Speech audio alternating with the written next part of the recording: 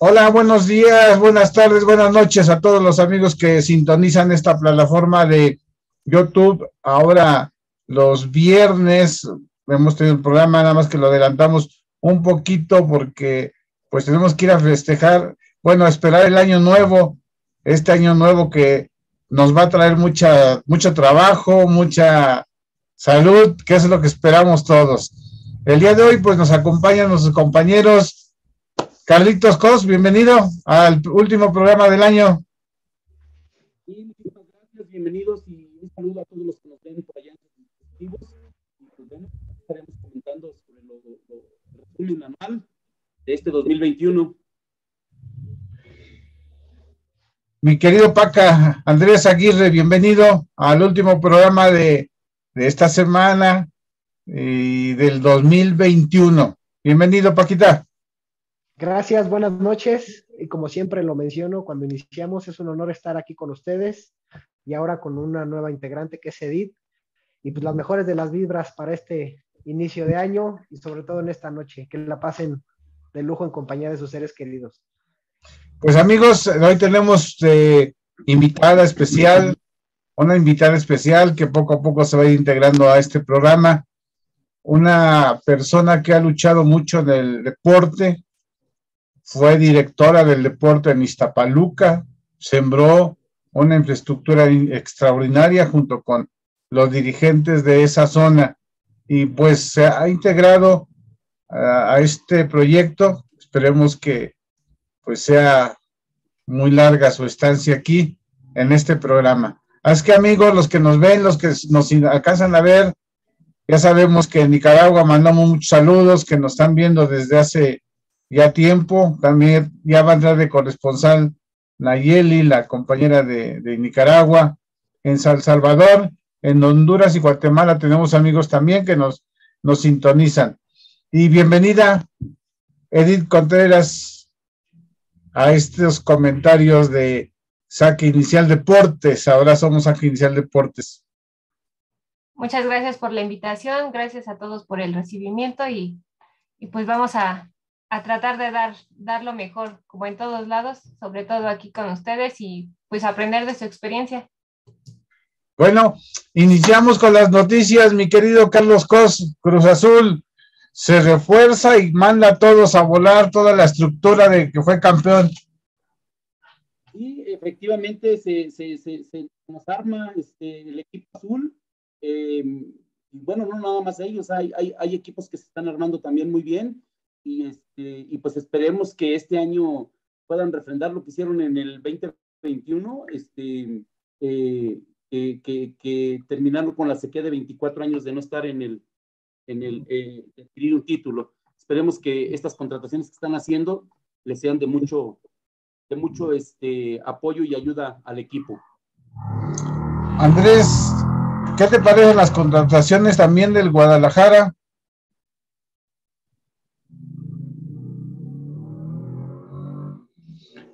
El micrófono. Eh, listo. Pues esperemos que sean las acertadas, ¿no? Ya Chivas por eso contrataron a Peláez, porque pues ha tenido buenos números con otros equipos.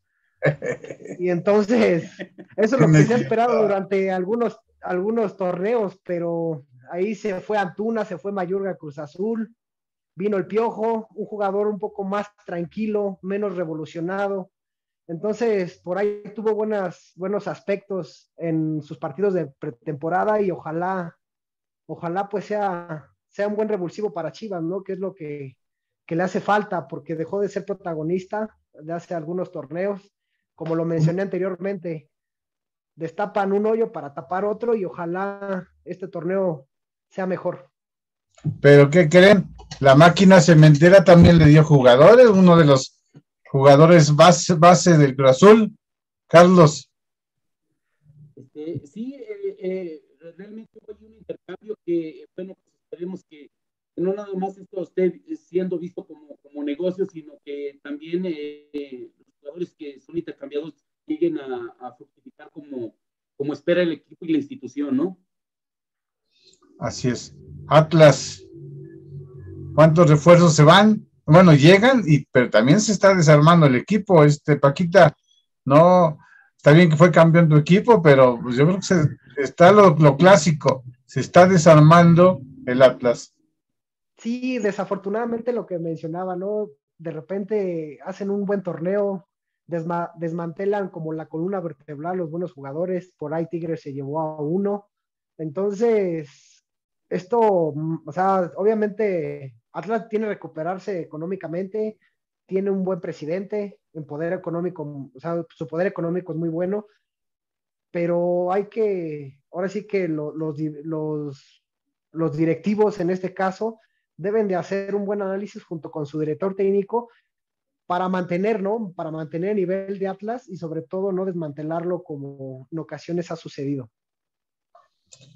Eh, amigos, les comento que hay un problema de COVID, no, no, no hablamos en este programa de ese tipo de situaciones, pero hay un problema ya a nivel mundial y a nivel nacional, pero en lo deportivo también hay muchos contagiados hasta el día de ayer, en la noche, salió un reporte de 93 casos positivos en el fútbol mexicano. Y yo no sé qué vaya a pasar, y yo no soy grave de mal agüero, pero creo que se va a suspender las jornadas que vienen. ¿No crees, Edith, por esta situación que tengan que suspenderse las, los, los partidos que están programados ya la, la próxima semana? Pues yo creo que es un tema muy complicado. Yo creo que al deporte le ha pegado, bueno, como a todos, ¿no? Y en todas las áreas, este tema de la pandemia. Y pues yo creo que habría que ver eh, si sigue aumentando ese caso de COVID, pues yo creo que lo más sano sí sería pues a lo mejor si no parar, posponer un poco. Yo sé que todo viene agendado ya este, muy marcado, ¿no? Cuando son los partidos, cuando se alteraría mucho, pero pues yo creo que muchas veces la salud es, es importante y muchos equipos también van a protestar el hecho de que sus jugadores estrellas o jugadores que son estructura de, del equipo no puedan participar. Sí, efectivamente, acaba de decir una gran verdad, Edith.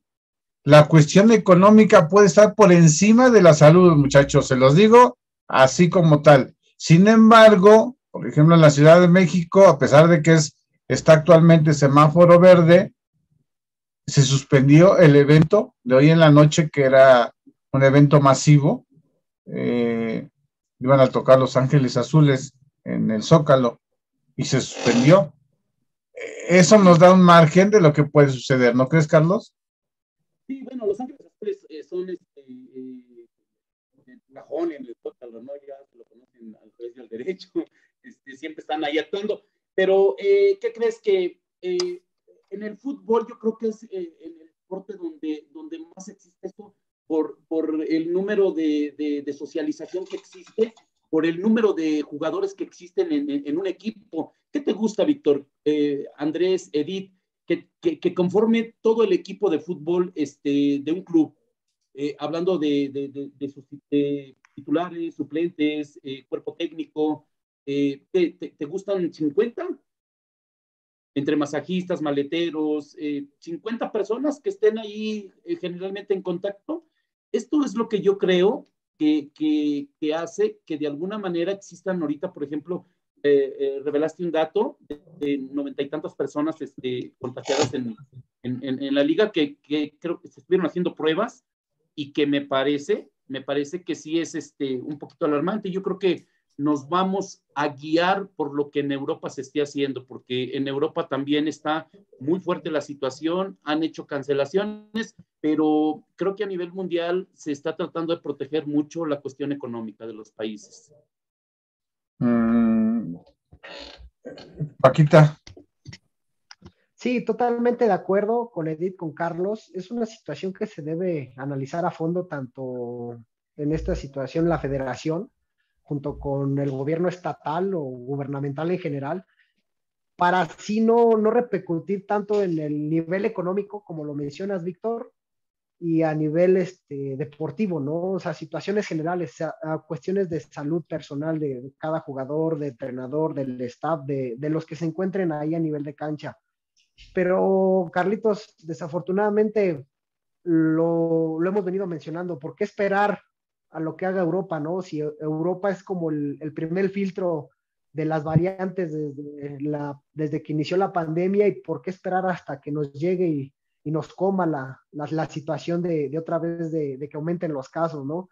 Desafortunadamente aquí, si lo mencionas, Víctor, a nivel económico, creo que está por encima de muchas situaciones y ojalá, ¿no? Ojalá enero y febrero no, no sea una situación de la cual estemos a niveles críticos en cuestiones de salud, de hospitalario, ¿no? Porque hay que recordar que el año pasado, antes de las vacunas, estábamos ya en un 98% a nivel nacional en cuestión de, de, hospitalizaciones y ojalá este no sea el caso y a nivel personal entendamos que debemos de cuidarnos. Lamentablemente es muy difícil porque la, ya lo dejaron crecer desde hace un mes y medio más o menos. En México se sabía que podía venir una, una cuarta um, um, ola, como le llamen, muy difícil también, y es lo que no logra entender. Políticamente sí lo puedo, sí lo entiendo, pero la gente no lo sabe. Esperan que se muera la gente, y eso es lo que van a yo creo, yo, aquí más que nada, muy independientemente del gobierno, creo que la gente sí sabe lo que puede repercutir el, enfermar a alguien o enfermar a una persona mayor, a un ser querido. Pero a veces, perdón que lo diga con toda la extensión de las palabras, pero a veces la ignorancia, la idiosincrasia de la gente nos hace mirar o tener otra perspectiva de lo que en realidad es una pandemia. Lo mencioné cuando me invitaron la primera vez, yo tuve la mala fortuna de enfermarme y es algo que no quiero volver a sentir, entonces no, no sé a veces en qué cabeza cabe de repente ves gente sin cubrebocas, o eso no existe, es situación política hasta la fecha, o sea, llevamos para dos, tres años y, y la gente sigue pensando lo mismo, entonces, ojalá, ojalá no, ojalá no, no lleguemos a esos números como lo que pasó en, en la India, si no me falla la memoria, que veías gente en la calle porque ya los crematorios, los hospitales estaban al 200% de su capacidad, entonces esperemos que, que, nosotros individualmente como personas, y esto lo hablo, lo generalizo, seamos conscientes, ¿no? Porque aquí el gobierno puede decirte que no, el gobierno puede decirte que sí o restringir muchas situaciones, pero si nosotros como personas desde casa no entendemos que por lo menos el cubrebocas es algo muy esencial hoy en día, esto no va a cambiar. Es correcto, no sé, Carlos. No sé qué piensen Carlos, Edith. Pues sí, yo, yo opino lo mismo que tú. Yo creo que eh, depende mucho de cada uno de nosotros el, el que esta pandemia disminuya, que termine, yo lo veo bastante complicado, ¿no? El platicar con algún médico te va a decir que esto es abismal, ¿no? El tiempo que va a pasar para que realmente termine la pandemia, pues es incierto y complicado, ¿no? A nosotros apenas nos comentaba un médico, pues esto es como la gripe y hasta la fecha la gripe no está erradicada, entonces el COVID también es un virus, entonces hay que sí aprender a vivir con él, pero el hecho de aprender a vivir con él es cuidarnos, cuidar a la gente que tiene a lo mejor su sistema inmunológico un poquito más este, deprimido y, y no, no engañarnos a nosotros mismos, ¿no? Pensar que, ay, bueno, si el gobierno dice que estamos en verde, ya podemos hacer lo que sea, ¿no? Hay que cuidarnos, hay que ser conscientes por nosotros y por las personas que nos rodean. Carlos. Sí, eh, yo creo que lo que tenemos que, se, que, que, que seguir haciendo es, es, pedir a la gente que, se siga cuidando, eh, eh, evitar este tipo de situaciones, por más que de repente ya no este, esté tan fuerte la, la hospitalización este, y que no haya, hay muchos casos, sin embargo, de repente, a lo mejor, no sé en qué se basen, si en el número de muertes y nada más en el caso registrado eh, y, comparen los casos registrados de gente que se contagió, porque de repente, pues a mí sí me parece muy abismal el caso de, de, de gente fallecida y el caso de, de, gente contagiada. Yo, igual que Paquita, Víctor, lo sabes eh, perfectamente, yo también pasé una situación este, complicada y difícil hace en, en agosto del año del, del 2020 y, este, y fue muy complicado y muy difícil porque fue una situación verdaderamente pesada con mi mamá, con mi hijo, conmigo mismo, ¿no? pero pues pedir, seguir eh, pidiendo que la gente se cuide, que la gente no se, no se relaje, que la gente eh, se procure en ellos mismos y procuren también a los demás. Es lo que creo que tenemos que hacer. Y bueno, las decisiones que el gobierno tenga que tomar, pues las tomará el gobierno, pero yo creo que en lo personal y en lo individual, cada quien debe de tener también un poquito de inteligencia para, para entender que esto hay que seguir cuidándose. A mí me preocupa porque nosotros sí estamos enterados, incluso nos prevemos con el cubrebocas, y, pero la gente, tú vas a la calle y, fíjate, ayer, ayer, amigos, perdón que estemos comentándole esto, pero creo que es importante. A mí cada semana voy al hospital, me toca revisión y me tocó ir y la gente tosiendo, pero así, con cubrebocas, pero el cubrebocas así, así. Y me doy cuenta porque había un chorro, mucha gente de, eh, con su, estaban esperando sus incapacidades. Habían 10 gentes jóvenes de incapacidades. Y cuando termina mi, mi fila, yo termino, me dicen, es que estos señores tienen COVID. Fíjate nada más. Afortunadamente yo voy bien cubierto hasta con la costa esta así en la cara pero en los hospitales tampoco toman precauciones.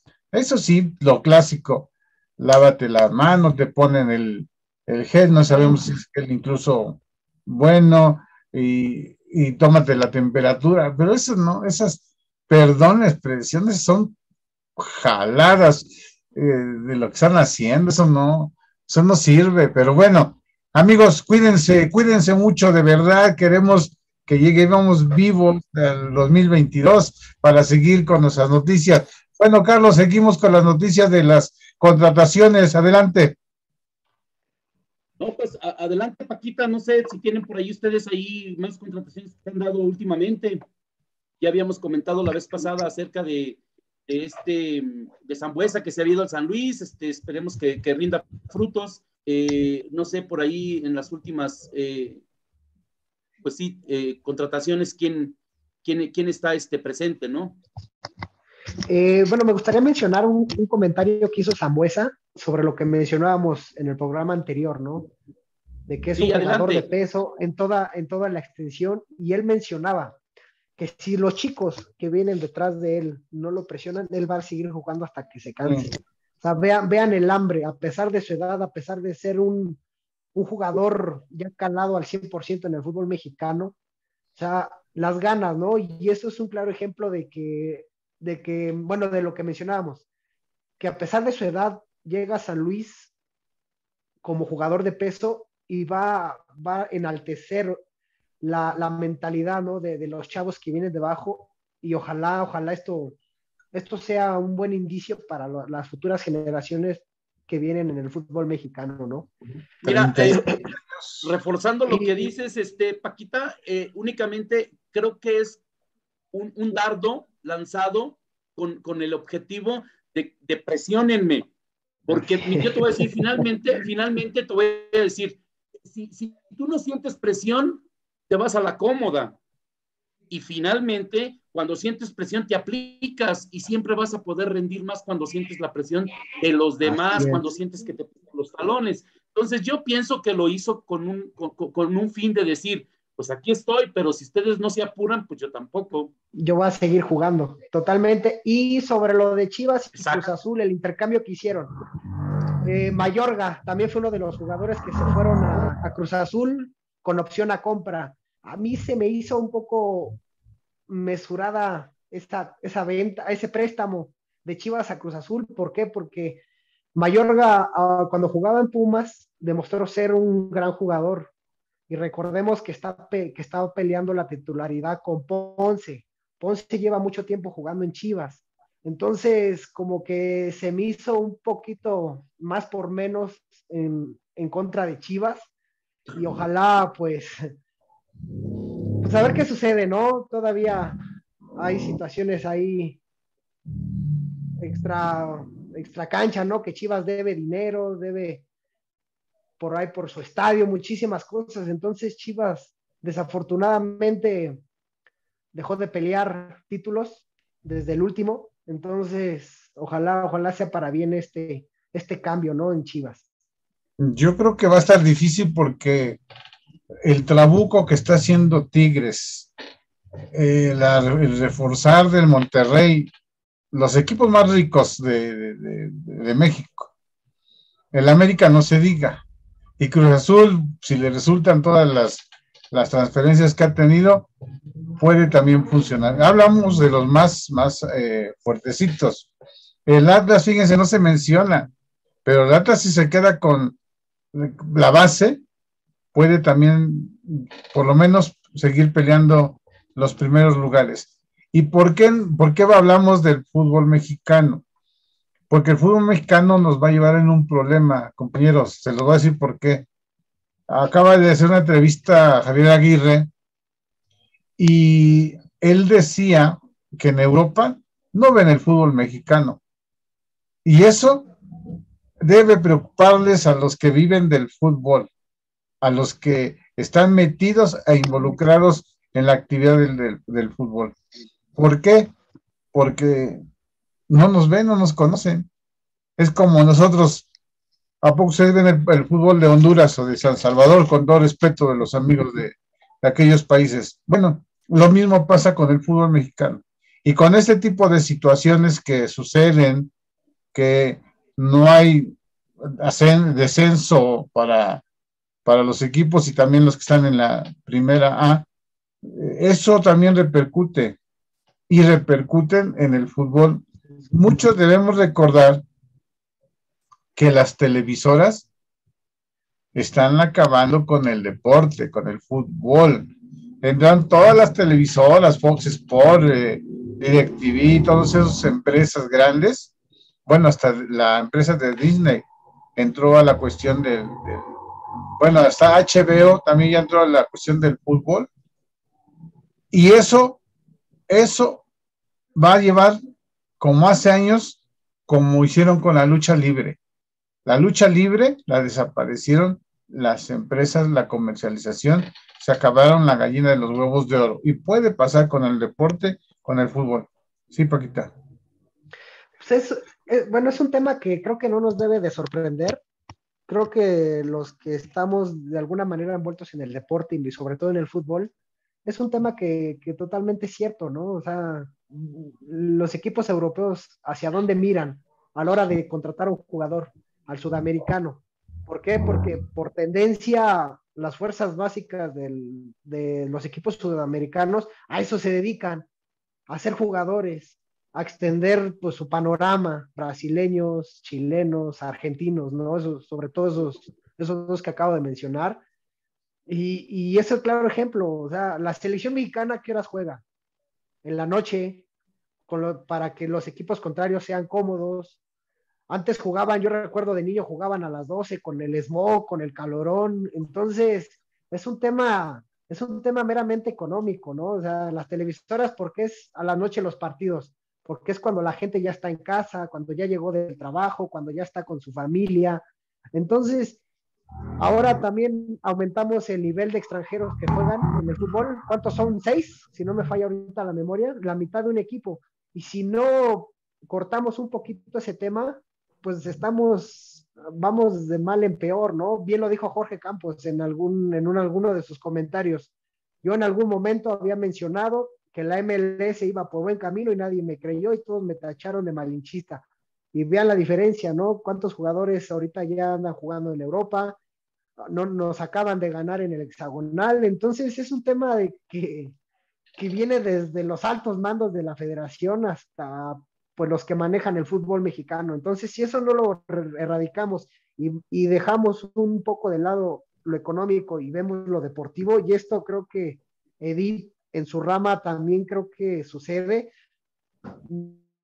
No vamos a crecer como a nivel deporte en general, ¿no? Entonces, el, apoyo en otros países es mucho mejor que aquí en México. Entonces, no sé, o sea, simplemente el, lo económico gana más que lo deportivo. Y sucedió lo mismo en taekwondo. Estamos hablando de la época de Víctor Estrada, éramos el número uno en medallas ahora eh, no tenemos eh, referentes. Edith, ¿qué pasa ahí en el, en el taekwondo?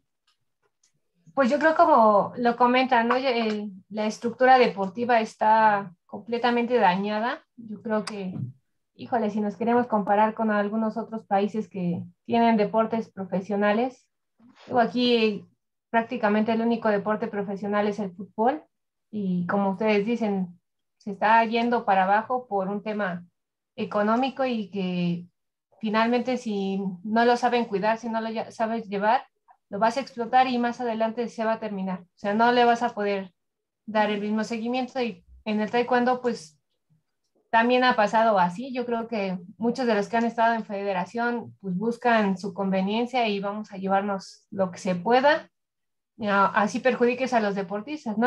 Actualmente, pues, en estos últimos Juegos Olímpicos, eh, México no tuvo medallas más que en, en para taekwondo.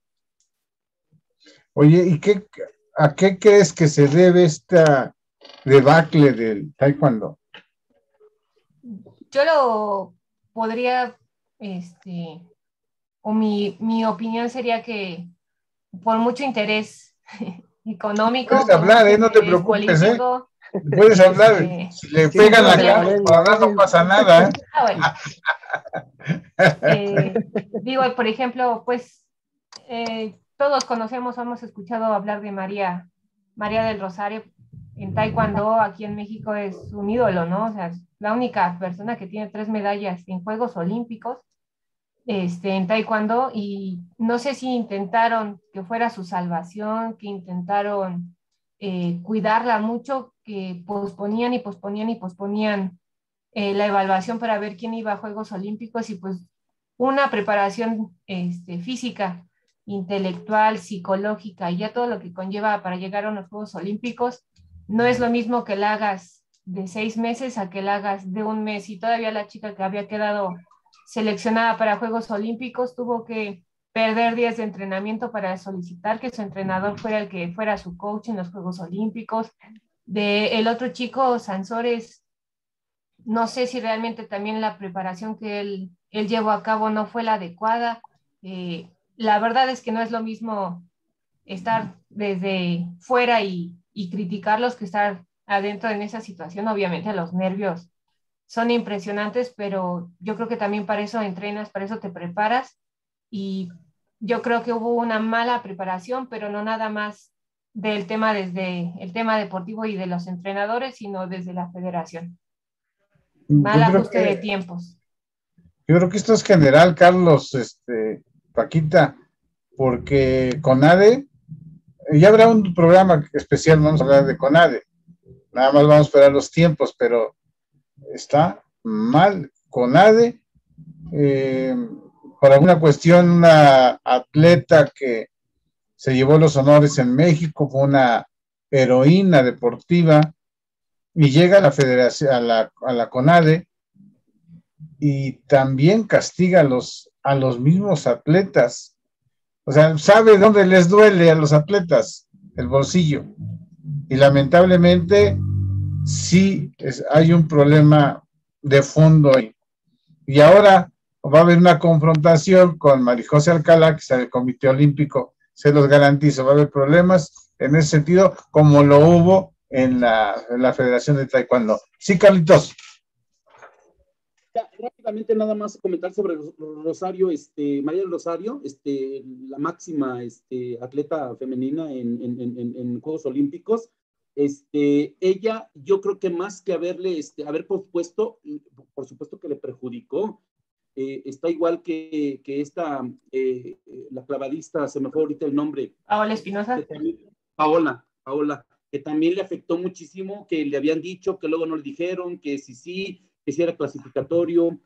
Fue una, es una cuestión muy compleja y cuando tienes este tipo de que siempre, hoy siempre no, lo hacemos después, seguramente Rosario iba a marcar, digo, iba a marcar una diferencia tremendísima en, en, haber asistido cuando, incluso a cuatro Juegos Olímpicos, aunque no hubiera tenido medalla. Pero bueno. Pero su participación hubiera sido trascendental, ¿no? Yo creo que sí. Muy pocas personas han tenido, y la verdad es que María de Rosario, a pesar de los años que lleva en selección nacional y, de toda la experiencia que tiene, la capacidad de participar en los Juegos Olímpicos la tiene y, lo ha demostrado, ¿no? Pues actualmente la sigue teniendo, bueno, ahorita no porque tiene poco que la operaron, pero para los Juegos Olímpicos que acaban de pasar la tenía, pero yo creo que de igual manera la persona, la chica que fue Briseida, eh, no es una niña novata, viene, ella ha participado desde Juegos Olímpicos de la Juventud, ha sido mundialista, medallista a nivel mundial en diferentes este, abiertos internacionales, en mismos mundiales, en diferentes eventos. Yo creo que perjudicó a ambos, perjudicó a todos. Yo no me voy a poner con que debió de haber ido una o debió de haber ido otra. Pues eh, yo creo que eso se demuestra en el, nosotros lo decimos en el tatami, así llamamos al área, y pues una mala elección de fechas de estructura de, de la federación. Sí, así es, bueno, y, y, bueno, quería hacer el comentario de Rosario porque es, soy fiel admirador de, de María Rosario Espinosa. Y este, y bueno, eh, tocando un poquito los dos puntos que mencionó, este, que mencionaste tú, Paquita, que mencionó este Víctor, eh, acerca de eh, agregar lo que, reforzar lo que dijo Víctor. El, el, torneo, agrégale el tipo de torneo que, que, tenemos para que no nos vean en Europa, que de repente pues son dos torneos, el torneo de la flojera y el torneo de, de, de la pasión, porque ¿cómo los puedes clasificar? Este, es el torneo donde todo el mundo medio anda ahí a, viendo a ver este, cómo, cómo clasifica, ya estando por ahí en, en, en la liguilla este, o avanzando, eh, es otra cosa, ¿no? Eso, eso también. Y quitando el descenso. sí, eh, demerita mucho, ¿no? Ahora, habrá que hacer un poco de historia y recordar cuando dices tú, Paquita, que únicamente a quién ven, a brasileños y a argentinos, pues no vamos tan mal, fíjate. 1970, campeón Brasil en México y 1986 campeón Argentina, las dos potencias que tenemos en el continente. Hemos tenido campeones en México a los dos mejores equipos del continente, que son Brasil y que es Argentina. Entonces, pues, ¿cómo van a haber otros tipos, otros tipos de fútbol si, si, si los que reinan son ellos y nadie les hace sombra, ¿no? Esa es la situación que prevalece en el deporte. Adelante, Paquita. Sí, totalmente de acuerdo, ¿no? O sea, tanto Brasil como, como Argentina, su, infraestructura es exportar jugadores.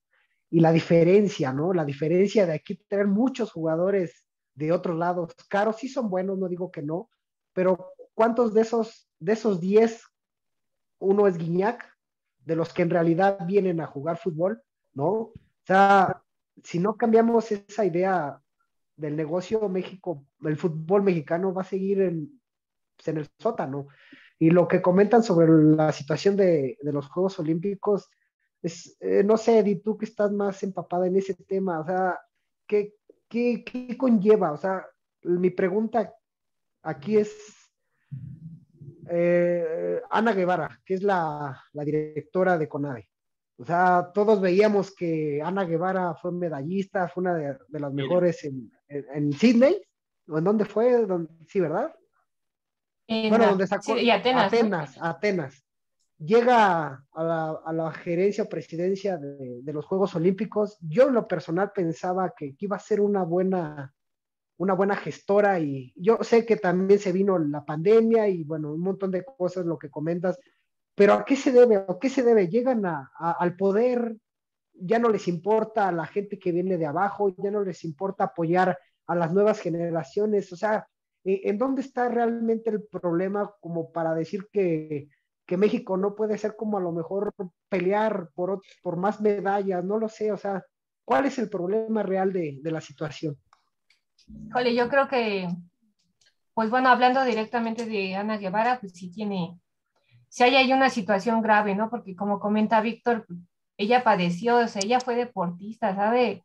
lo complicado que es y el atletismo pues no es un deporte elite, ¿no? O sea, yo te puedo comentar que la mayoría de mis compañeros de selección pues no eran, eran chicos que económicamente no estaban mal, o sea, estaba porque pues, no está tan barato, ¿no?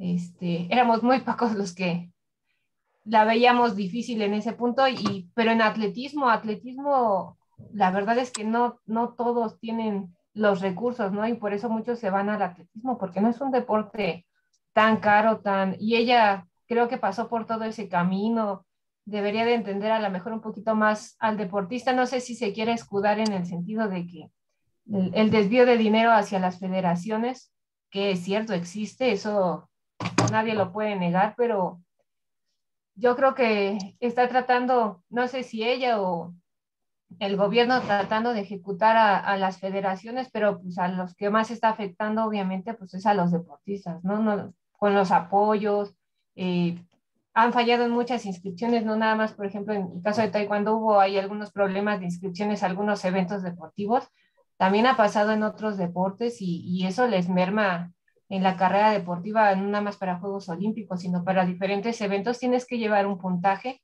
depende del deporte, para que tú puedas participar, si no, no clasificas. Carlos. No, no, no, yo estoy totalmente de acuerdo con lo que dice Edith. Este, yo creo que aquí el punto de vista y el sentir, cuando llegas a, gestionar una, federación, pues te cambia totalmente porque los intereses son otros, porque existe gente que, digo, no quiero hablar mal, pero de repente quienes te ponen, te piden, te exigen. No te van a, no te van a llamar la atención, ¿eh? Ni me conocen, ¿verdad?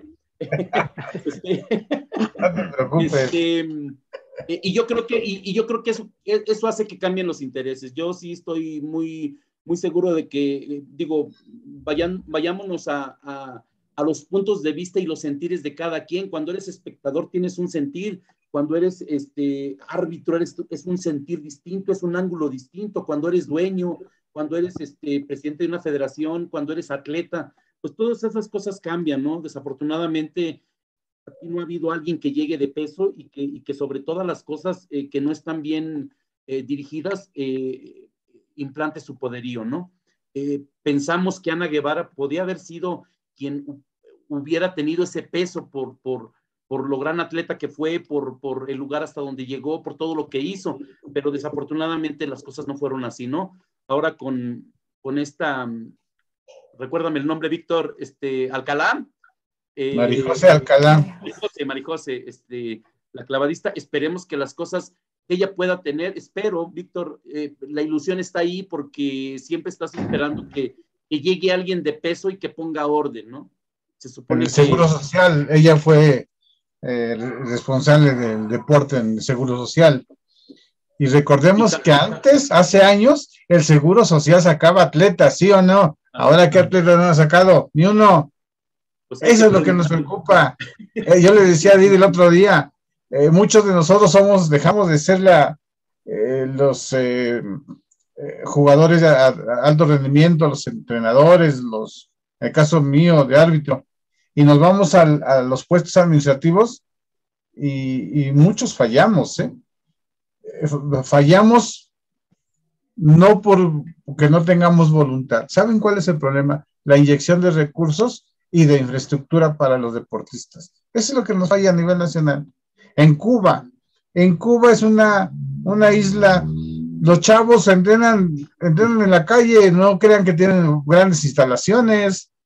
Nosotros nos tocó ir a, no sé si tú fuiste también a Cuba, este, Edith, pero están las instalaciones muy pequeñas y ahí aprenden los niños y también los papás dejan que los niños se integren al deporte. Los dejan que se vayan al deporte. Y aquí no. Aquí, pues, ¿cómo se va a ir mi hijo a, una casa de, deportista a hacer, se desligue, linde de la, de la familia? Muy difícilmente aquí se va a lograr. Estados Unidos es una potencia en todos los aspectos, en todos, y no le hemos aprendido nada desde hace muchos años. Y eso es lo que nos preocupa en el deporte. Y lo digo, amigos, de verdad es increíble que el deporte mexicano siga estancado en todos los aspectos. Hay dos, federación, dos federaciones de básquetbol que fueron las que nos pusieron en la torre, que ni una ni otra se han puesto de acuerdo. Y no se digan taekwondo, y no se digan eh, en atletismo, no, no, no, no, no, no, es un caos el deporte mexicano y llegan funcionarios, llegan atletas y tenemos mucha confianza, confianza en ellos. ¿Y dónde estamos? Lamentable. Bueno, tenemos el tiempo, tienes un minuto, este Carlitos, para que le hagas preguntas a nuestra invitada de honor. Eh, también, yo ya, ya, tuve mi entrevista con ella, ahora ustedes pregúntenle. este, oye, tu, tu, máximo logro, tu, tu eh, deportivo, hablando cuando estabas este, activa, ¿tienes, tienes mucho tiempo retirada. Perdón que, que no tenga tanta este, información, pero bueno, saber que fuiste atleta de alto rendimiento, pues me indica que, que, tienes una experiencia bastante amplia, porque ser de alto rendimiento es, es, es esfuerzo y, y, y, entrega total, ¿eh? Sí, pues mira, mi mayor logro fue, ya tiene casi un poquito más de 10 años, prácticamente los 10 años. Eh, yo soy campeona de Juegos Panamericanos, los que se realizaron en Guadalajara en 2011. Sí, este, no recuerdo, pero... La, la, única medalla de oro en, Taekwondo. Este, también tuve la oportunidad de participar ese año y unos años anteriores en universidades mundiales. Quedé en quinto lugar en, en Universidad Mundial, fui mundialista, participé en diferentes abiertos internacionales, en abiertos en Estados Unidos. Fue un poquito de, de la trayectoria internacional que hice en selección nacional. ¿Tu preparación toda la vida fue hecha aquí en México, bueno, aquí en, el país, o, tuviste que emigrar a, no sé, a Estados Unidos o a algún otro lugar para, para este, poderte preparar para algún evento? Bueno, dentro de la selección nacional hacemos campamentos normalmente en otros países, casi siempre es Corea del Sur. Este, sí tuve la oportunidad de viajar varias veces a Corea del Sur, nos llevan como mínimo como un mes, este, un mes, dos, tres meses. Te preguntaría qué se siente estar en Corea del Norte, no de Corea del Sur. Ay, sí me daría miedo. Sí, ¿verdad? sí. Ah, Corea del Sur es un país increíble. Tú ves a los niños pequeños caminando solos, irse a la escuela. Este, ahorita retomando un poquito de lo que se hablaba del deporte, eh, de aprender de Cuba, de Estados Unidos, Corea también es una potencia en el deporte que sea, pero yo creo que no nada más es, es por ejemplo, aquí el tema de ya el Comité Olímpico y CONADE, sino creo que aquí hay una mala estructura en México desde, desde la educación, o sea, educación física en una escuela es tome tu balón y vete a jugar, ¿no? Realmente son muy pocos los profesores dedicados que te enseñen realmente la estructura de los deportes. Deja de que, deja de que sea, ten el balón y ponte a jugar. El, el caso es que en muchas escuelas es una vez a la semana. Es como si yo te digo, por una vez a la semana que vayas 50 minutos, vas a saber hablar inglés. Sí, pues no, jamás. O sea, nunca en la vida, o sea, digo, o entrenando una vez a la semana vas a llegar este, a un equipo de primera división, por supuesto que no. Sí, o sea, el profesor no es mago como para con la varita mágica hacerle al niño. ¿eh? Sí, exactamente. es la estructura que no se tiene y que hay muchas cosas que se tienen que ver, que, que, que no se ven, pero por cuestión de estructura, ¿eh? Sí. por ahí voy más. Sí, adelante, este, Paquita. Ok, eh, bueno, recalcando un poquito del, sobre la educación deportiva, también creo que hay, que hay que irnos un poquito más atrás, creo que también viene desde casa, ¿no? No sé si recuerdan, me, acordé de una, me acordé de una noticia que una mamá quería demandar a un profesor porque puso a correr a su chico 10 minutos. Ah, sí. entonces, creo que también, o sea, entonces, imagínense, ¿no? Ahora, mm, compañerita Edith, mi pregunta es para que nos la respondas a todos. Muchos, muchos nos quedamos en el camino. Hoy en día entiendo, hoy en día me doy cuenta que me faltó para ser jugador de primera división, pero mi pregunta es, la triada de tu éxito, Edith, familia y entrenadores, ¿cómo, ¿cómo fue ese conjunto para llegar a esa medalla que tanto deseabas desde pequeña? Porque, bueno, leí un poquito tu historia y, por lo que leí, si estoy mal, eh, házmelo saber, desde pequeña tuviste ese apoyo, ¿no? De, para el taekwondo y hasta que llegaste hasta la medalla. ¿Cuál es la clave de ese éxito para las, o sea, para el deporte en general? Bueno, yo creo que como bien dices, uno, la familia, la familia siempre estuvo ahí. Yo soy la más pequeña de cuatro hermanos y de hecho si yo entré al taekwondo fue porque pues, allí iba el hermano y y los primos no, no fue tanto por gusto, pero bueno, yo fui la que continuó y siempre el apoyo, este, también hay, hay un poquito sí el apoyo de la familia y, a la vez también, este, por ejemplo, por parte de, de mi abuelito, yo creo que me decía mucho, hija, eso es para niños. Bueno, mi abuelito obviamente se ha acostumbrado a otras generaciones, mis tíos también, mejor estudia, mira esto, porque la verdad es que no era mala estudiante. Entonces, este, pero cuando ellos vieron la seriedad que yo le ponía y los resultados que iba consiguiendo, completamente todo su apoyo, eh, échale ganas. La verdad, y yo lo comentaba, este, mi familia económicamente pues no, no es rica, ¿no? O sea, somos varios hijos y, el pagar la vida de un deportista eh, es, a veces es caro, entonces hasta la misma familia, a veces tíos, eh, este, mis abuelitos, algo, mira, te vas a, yo me iba de viaje a Corea toma para que te compres un chicle, me decían, ¿no? Y decía, bueno, a lo mejor es un chicle un, poquito caro, ¿no? Pero, pero es esa parte, o sea, ellos siempre estuvieron ahí, el apoyo. Eh, yo creo que algo que también eh, hicieron mis, mis profesores con los que yo inicié, eh, lo comentaba la ocasión anterior con, este, con Víctor, yo empecé cerca de, de la casa de, de mis papás, donde ellos vivían, y posteriormente pude pasar con otro profesor que fue profesor de ellos, eh, ya integrarme, o sea, el hecho de que también muchos profesores no te permiten eh, el continuar, ¿no? Porque es, bueno, eres bueno y aquí te quedas porque mi escuela vas a, a dar renombre, vas a reconocer, te van a reconocer como deportista de mi escuela, pero no te dejan crecer hasta donde debes de llegar, ¿no? Yo era la más, de las más chiquitas de en selección de adultos de la UNAM y este, yo creo que también ese apoyo que siempre recibí de, mis entrenadores, de los que estuvieron coachándome, eh, obviamente ya en selección nacional, bueno, y tiene poco que este, vi eh, una publicación de, los hermanos Salazar.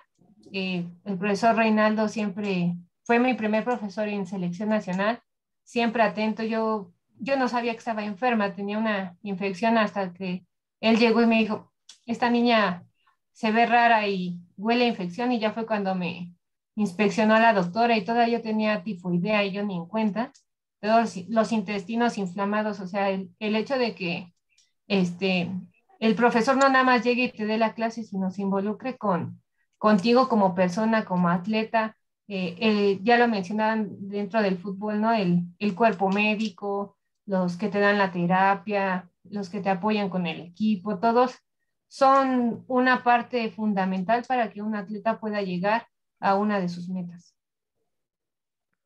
Bueno, es última pregunta que te voy a hacer, eh, Edith. No te la hice en la entrevista, pero aquí que se enteren nuestros amigos. Como árbitro, yo gané lana. O sea, yo gané lana. Carlos, pues más o menos. Eh, Paquita, pues fue muy famoso, pero no ganó tanta lana más que el malnate, el dueño del equipo. ¿Ganaste, hiciste algo de dinero como deportista o le invertiste como siempre? Mm, yo creo que, bueno, a lo mejor yo no, mis papás fueron los que yo creo que le invirtieron un poquito de más y también esa yo creo que es un tema complicado para que un deportista pueda sobresalir. Por ejemplo, a mí me tocó este, siendo medallista a nivel nacional y ganar 400 pesos al mes. O sea, realmente con 400 pesos no haces nada, ¿no? O sea, muchas veces ni para el transporte, exactamente. Y conforme vas ganando eventos, vas subiendo un poquito este, lo que te van a dar, dando ellos eh, de beca o de ahora les llaman estímulos deportivos, pero la verdad es, es muy poco. Yo creo que, eh, pues si tú eh, te quieres dedicar al deporte como tal, pues a menos de que tengas la oportunidad de algún patrocinador, porque si no, no, no alcanzas a, subsistir. A lo mejor como te, nosotros vivimos en concentraciones, es decir, pues no pagas renta, no pagas comida, no pagas entrenamientos, vives en donde entrenas, bueno, a lo mejor en ese sentido no gastas, pero ya si lo ves más fríamente, es muy poco el, lo que le pagan a, a un deportista. Pues así es, amigos. Es una pregunta de difícil, difícil porque hablamos de centavos, pero es la realidad. El atleta no gana dinero, no gana dinero, invierte. Y si acaso, como va subiendo de niveles, bueno, pues se encuentra una solvencia económica diferente gracias al patrocinio o los apoyos que llegan por fuera. Y eso debe ser un ejemplo para los chavos, los jóvenes que están siguiéndonos. Hay que insistir a los jóvenes que se preparen, que dejen la, el teléfono, que están enajenados en las redes sociales, en lugar de ponerse a entrenar, a hacer deporte, lo está manteniendo el gobierno a través de esos, esos programas que nada más es para los votos. Pónganse a hacer deporte, jóvenes. Ya me enojé. Adiós, Carlos. Cuídate mucho. Feliz, feliz año, amigos, amigas. Edith, pásala súper bien. Igualmente, feliz año. Mi querido Paquita, abrazo. Nada más comentar que en los últimos cuatro o cinco Juegos Olímpicos las mujeres han dado la cara por México. De acuerdo, de acuerdo. Y dan la vida por la mujer, por los hijos también. por eso, Edith, muy valiosa tu participación. Esperemos que te consolides con nosotros. Eres bienvenida aquí. Tienes los brazos abiertos con nosotros. Mientras haya la pandemia, nos estaremos viendo vía virtual. Hay proyectos que vamos a hacer más adelante. Amigos, pues estamos en comunicación la próxima semana. No se vayan, muchachos. Eh, amigos, cuídense mucho. Abrazos a todo el mundo. Feliz, año, feliz año, feliz año 2022. Cuídense mucho.